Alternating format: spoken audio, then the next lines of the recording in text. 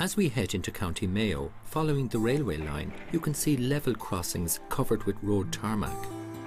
It's time for me to meet up with one of the main men from West on Track, Colman O'Rahilly, in Claremorris, where this phase of the Western Rail Corridor is due to open in 2014 and joins the existing main line from Dublin.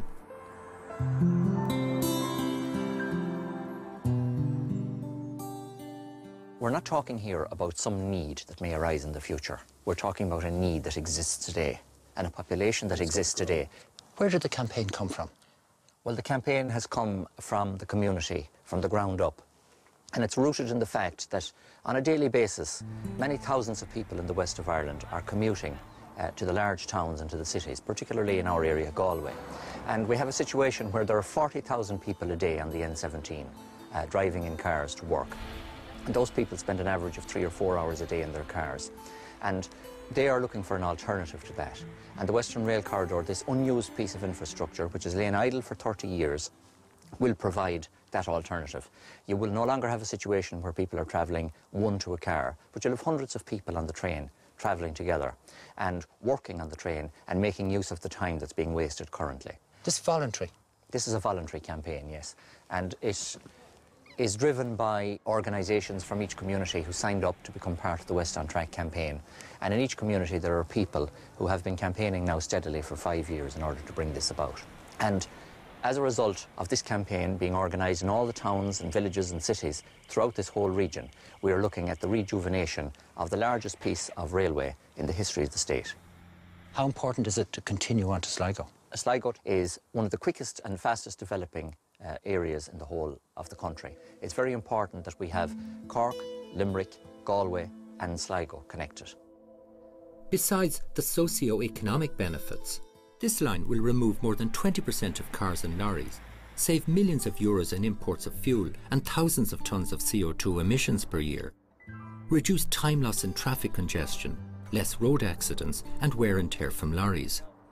In the present economic downturn, this essential infrastructure will stimulate competitiveness, enhance enterprise viability and protect vital employment. This phase from Claremorris to Collooney near Sligo is protected under Transport 21 and is being fenced and cleared of scrub. The stretch north of Claremorris is widely known as the Burma Road because of some of the difficult terrain through which the railway runs, which must have required great engineering skills in its construction at the close of the 19th century. Kiltimagh is a small town on the railway line where locals have set up a railway museum in the old station store. Brian, do you remember the steam trains? Yes, I remember them well. The day went out in about 52 or 53 and the diesel came in. What was it like? Well, the smell of the steam trains was the nicest thing. You could smell it long before you ever you get to the station. You could see them shoveling the coal in and the steam hissing out the side of it.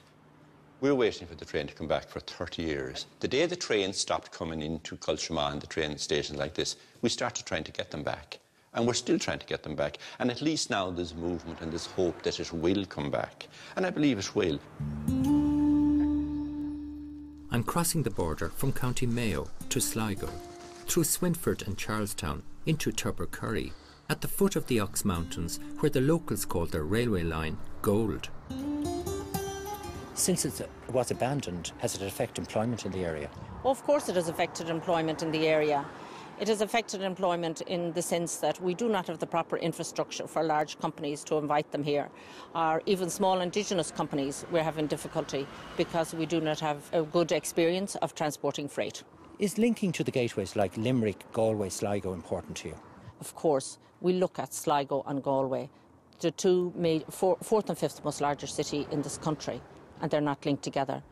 It's important that we open this line in order to link those cities. Uh, because here we're interested in tourism, so we need to get uh, tourism flowing quickly between those two cities. What about education? Well, as a mother, Duncan, of a student, I really understand fully the difficulties of not having a railway line. Most of the children here go to college in Sligo or in Galway and Limerick. They're limited to how they can get there Collooney is the last connection before Sligo on the Dublin line. so there's a working station here. And it's the point where the Western Rail Corridor has wound its way up all the way from Limerick to meet it. However, you have to search for the rail tracks. The infrastructure is still here and the right of way, but as we've travelled further north, it has been less maintained.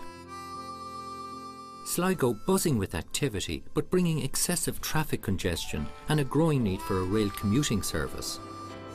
This rail line from Ennis, Galway, Claremorris to Sligo will hugely facilitate commuters in this region. Iarnród Éireann have upgraded Sligo with brand new trains. With its new high standard in comfort, speed and smoothness, this main line from Dublin is also being enhanced by an improved intercity daily service. I've come 115 miles along the railway track, all the way from Limerick to Sligo City. This is the end of our journey along the Western Rail Corridor as it's currently envisioned. But our story continues all the way up to Donegal, a county once abundant in rail networks, but now left totally isolated. The last train went to Donegal in 1966. Those are the beech trees that you can see behind me, Duncan. They would have been the old County Donegal Railway, which was the original rail that linked the south of County Donegal through Barnes Gap here, on into Ballybofey and from there up into Derry City. So what happened to it? I've always reckoned it's the, the border that took away our rail. We're the only county in the country, to the best of my knowledge, that hasn't got a mainline rail. The road on my right-hand side going down through uh, Donegal town to Sligo is our only link that actually goes through the Republic. All of our other links go through Northern Ireland. So how has this affected you in Donegal? Well, Donegal traditionally has uh, had a very high unemployment rate. Uh, I think this is because of our isolation. The only way that we can deal with Donegal's isolation is to give it good, strong communication links with the rest of the island. At the moment, we're the only part of the country that is not going to be serviced by the new motorways, uh, so we've been left behind there. We don't intend to be left behind in the rail. The BMW Regional Assembly also fully support this project, as it will improve the attractiveness and connectivity of the region provide alternative commuting options to Galway, Sligo and other towns, a much needed stimulus to the economic development of the region. If we look to the future over the next five to ten years at the whole western region of Ireland, and we look at its prospects, without the rail transport, if it doesn't go ahead, its future is going to come under question. If it does go ahead, it will prosper for this whole area. In our next episode of EcoEye, we look at what is meant by our carbon footprint and how we can reduce it. I visit Sligo to explore some of the country's most beautiful landscapes and see why they're so popular with birdlife. And I meet young innovators shaping our future in environmental research.